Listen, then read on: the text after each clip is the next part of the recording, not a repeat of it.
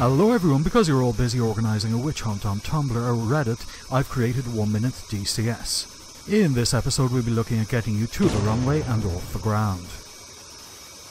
Set the left DDI to HUD. Set the right DDI to FCS.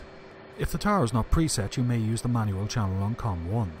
Twist the dial until M is listed for manual. To edit the frequency click the COM1 button first.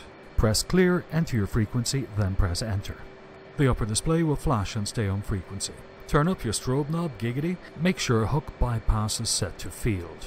Turn on your landing taxi light and make sure anti-skid is on. Turn on nose wheel steering by pressing the undesignate NWS button on the stick.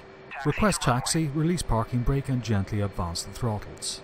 Use nose wheel steering to turn in the plus minus 16 degree arc. For tighter turns hold in the NWS button for high mode. Line up on the runway, arm your seat and perform a final sweep. Smoothly advance throttles to full afterburner using nose wheel steering to stay on track. Stick back a tiny amount around 130. Gear up immediately on positive rate, flaps to auto. Climb out between 5 and 10 degrees.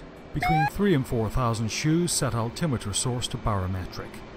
Regardless of the circumstances, conducting witch hunts on social media makes one look like a petulant, fragile millennial. Caving to such childish demands is a recipe for disaster. That's why I have the utmost respect for companies and developers who tell such proto-Tumblrites to go fuck themselves. On that note, I thank you very much for watching, and please don't forget to tell me to go fuck myself below.